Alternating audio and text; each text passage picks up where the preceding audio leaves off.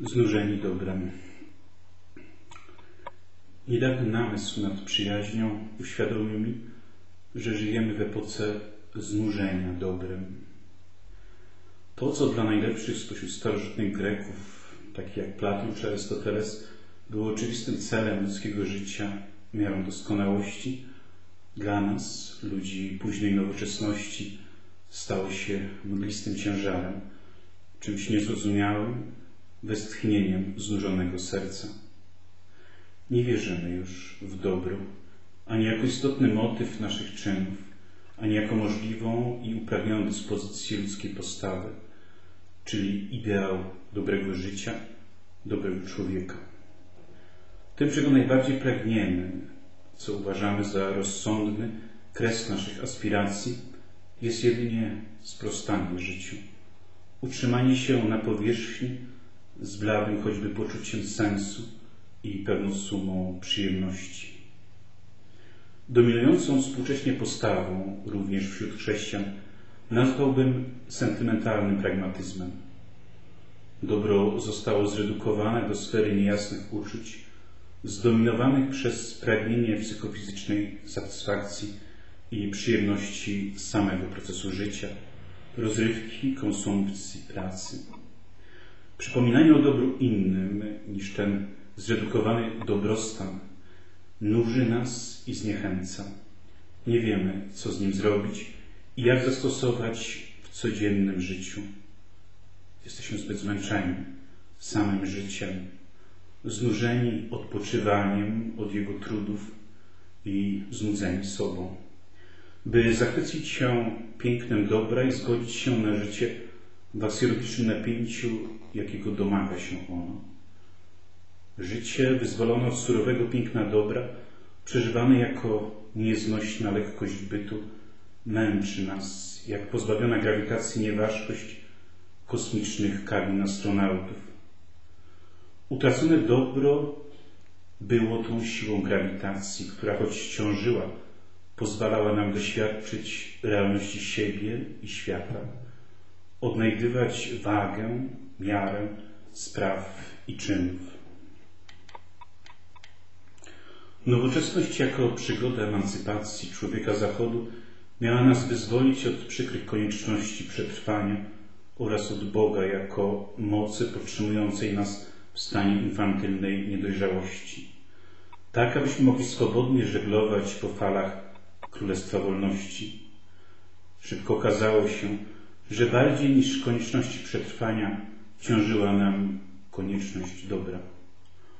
Wolność raz rozpędzona, postawiona na piedestale, wolność wyzwolona od grawitacji dobra upijała się stanem nieważkości, fantazjami rozbuchanych emocji i idei świata skonstruowanego mocą samego umysłu. Nadzieje uporania się z koniecznością przetrwania i dojścia do Królestwa Wolności, zbiorowej, jednostkowej samorealizacji ziściły się częściowo i paradoksalnie. Technika wyzwoliła nas od straszliwego nacisku przyrody, zagrożenia głodem, bezdomnością, zbyt wczesną śmiercią z powodu samotnej starości lub choroby, a większości z nas zapewniła dobrobyt. A jednocześnie uprawniona wolność została wykorzystana nie do podniesienia jakości życia duchowego i moralnego wyemancypowanych mieszkańców Zachodu, ale do stawnego pogrążania się w bezbyśności kultury masowej, konsumerystycznej gorączki i nieskrępowanego hedonizmu. Kościoły chrześcijańskie albo są w stanie upadku, albo przystosowały się do powszechnej praktyki bogacenia się i korzystania z życia, kontentując się wydawaniem idealistycznych dokumentów, a na co dzień praktykując jakby filozofię międzynarodowych korporacji i styl życia middle class i nowobogackich. Listkiem figowym chrześcijańskich ideałów są dziś pozostawieni na zupełnym marginesie dziwacy, ekscentrycy, wierzący jeszcze w realizm Ewangelii. Pogrążamy się w bezmyślnym konsumeryzmie lub w frustracji z powodu niechcianego ubóstwa nie tylko z powodu zwykłej ludzkiej słabości do użycia i przyjemności. Wybieramy życie w bezmyślności i hedonizmie przede wszystkim dlatego, że brak nam istotniejszych nadziei. Przestaliśmy wierzyć, że człowiek i świat mogą stawać się lepsi. Bankructwo postoświeceniowych, progresistowskich i totalitarnych utopii zabiło w nas nadzieję na lepsze jutro. Człowiek z dobrem na ustach to zagrożenie. A obietnica wiecznej szczęśliwości nie porusza już nas w ogóle. To zapomniana polisa ubezpieczeniowa, której składki przestali płacić już nasi ojcowie.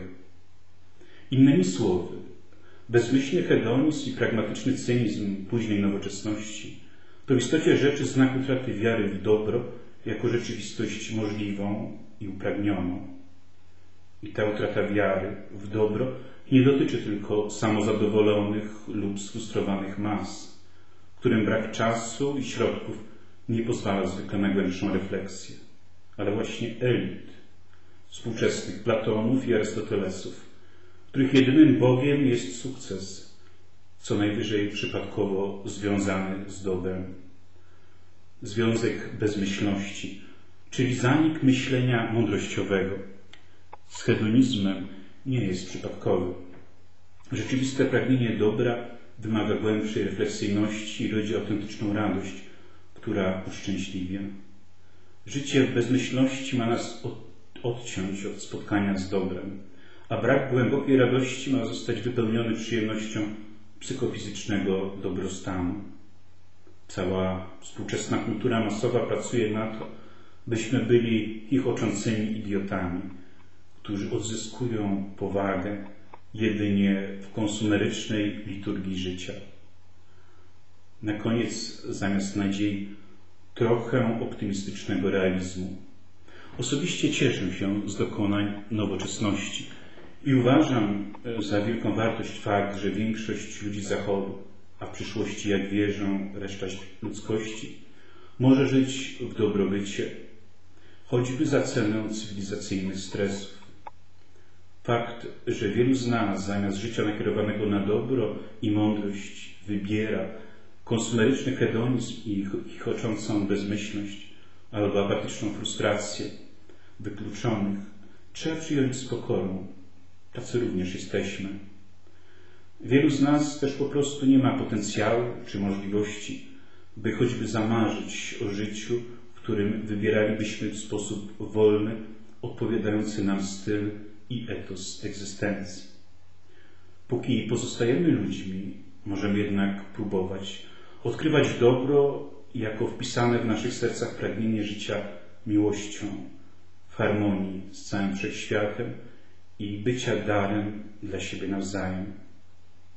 Najskromniejszy z nas może pragnąć być dobrym człowiekiem i w swym pragnieniu nie będzie samotny, choćby miał zmagać się z wszechobecną kulturą konsumerycznego ogłupiania.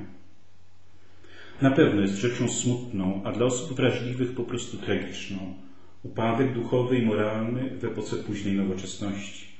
Upadek rozumiany w specyficznym sensie, jako wielkie niewykorzystanie szans. Dawane przez względny dobrobyt materialny, bezpieczeństwo, technologię i pokój. Społeczny klimat nachalnego, wręcz obsesyjnie narcystycznego egoizmu. Brak jakiejś zasadniczej powagi, w odniesieniu do spraw człowieka, poza tym co konieczne i przyziemne, samozadowolony cynizm ludzi sukcesu lub resentymentalna frustracja nieudaczników nie sprzyja osobistym pragnieniom życia w dobru, pięknie i mądrości. Wahamy się pomiędzy pogardą dla takiego świata, całkowitym poddaniem się, a ucieczką w krainę fantazji.